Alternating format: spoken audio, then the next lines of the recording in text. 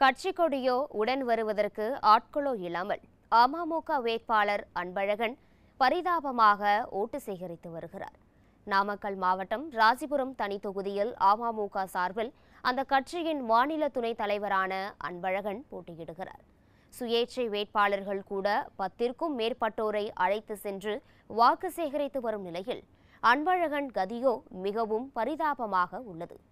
தொண்டர்கள் யாரும் இல்லாத நிலையில் பெயருக்கு நான்கு பேரை ஜீப்பில் ஏற்றிக்கொண்டு கட்சி கொடி கூட இல்லாமல் ஓட்டு கேட்டு வருகிறார். ஆங்காங்கே தலை காட்டும் ஒருவர் கூட வேட்பாளர் வரும்போது சிறிதும் அலட்டிக்கொள்ளாமல் அவரவர் வேலையை பார்ப்பது அன்பழகனை பெரிதும் விரக்தியடைய செய்துள்ளது. செல்லும் இடமெல்லாம் வரவேற்க ஆள் இல்லாததால் அமமுக வேட்பாளர் அன்பழகன் முகம் புன்னகையின்றி வாடி காணப்படுகிறது.